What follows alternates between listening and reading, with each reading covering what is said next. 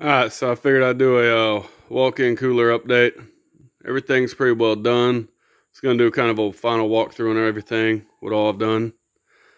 Anyway, I got my air conditioner installed. This is in my garage. It's detached from the house.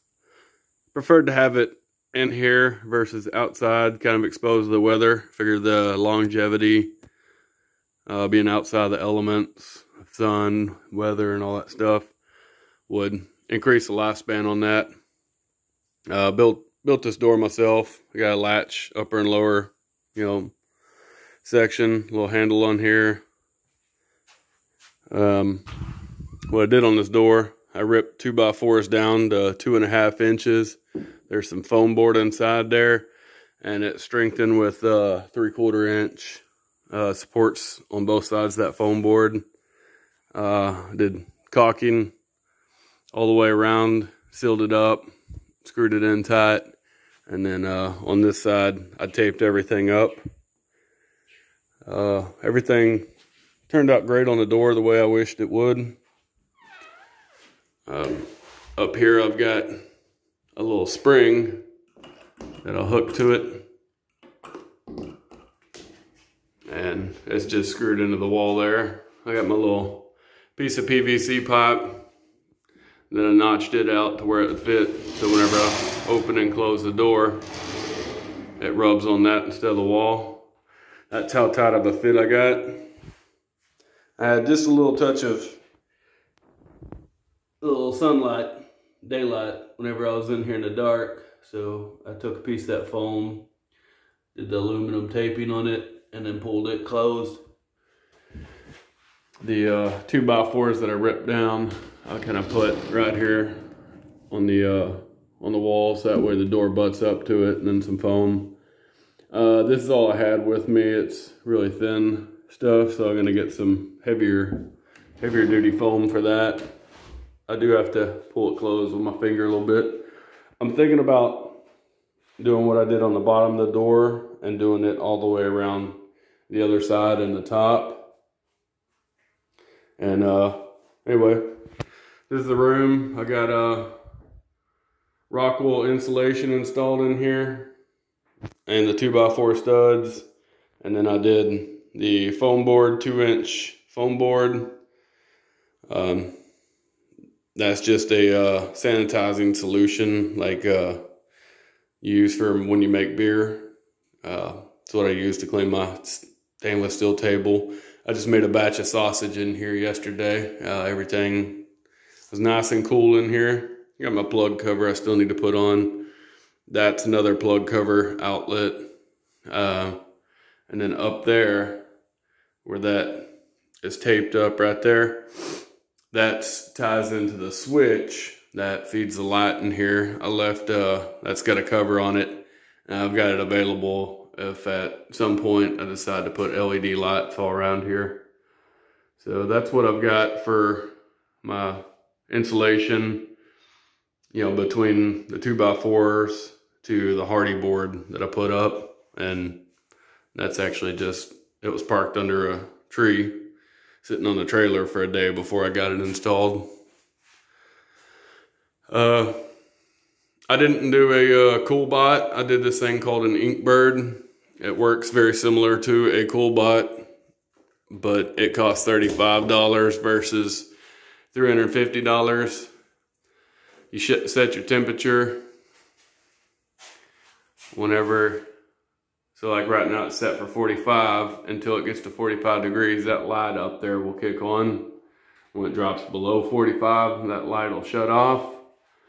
And this is my thermometer sensor for the air conditioning unit.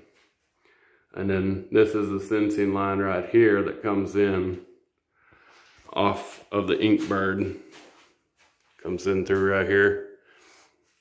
And uh, basically that senses what the actual temperature is and then tricks the window unit, you know, heat up that uh, sensor up there and keep it above, you know, the 60 degrees or whatever that the air conditioner is actually set at to cool it down. Uh, I ran it down to 40 degrees, ran it overnight while I had the uh, sausage in here and uh, anyway, my well does come into here. Uh, there wasn't much I could do about it. Uh, I don't really like the way this ended up being with my water lines. I'll probably move my water filter over to this side and keep the little on-demand water heater up there. Anyway, it uh, comes through. Got a 10 micron filter and then my cold goes a little water hose.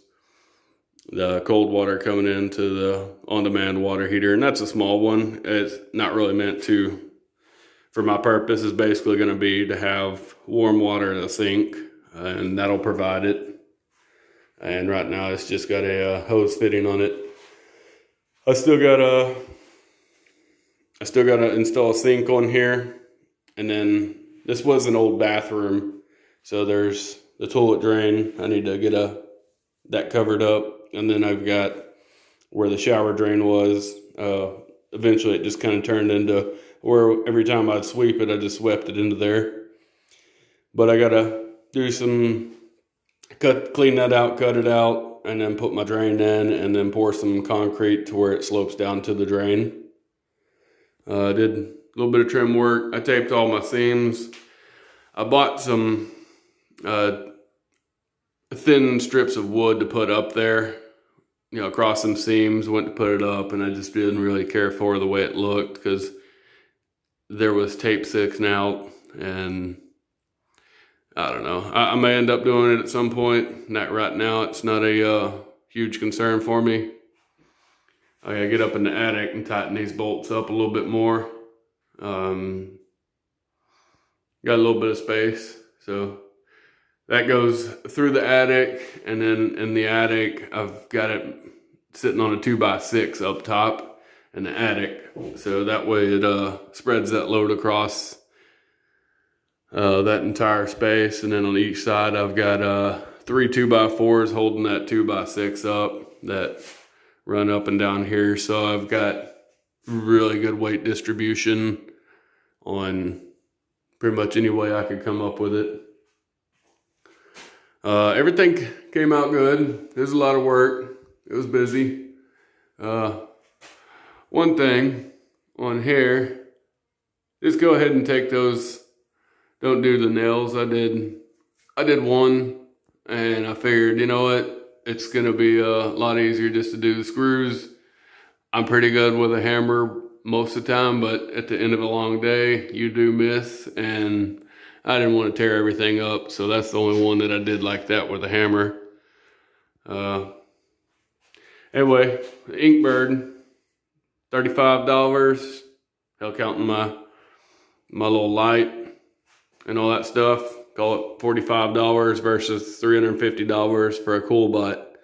Huge fan of that. It's worked, done everything I've wished for it to do. Uh, I do have this right here, I was monitoring my temperature at different points. Um, I did see it pull down to like 30 degrees, blowing 30 degree air, maybe a little bit lower.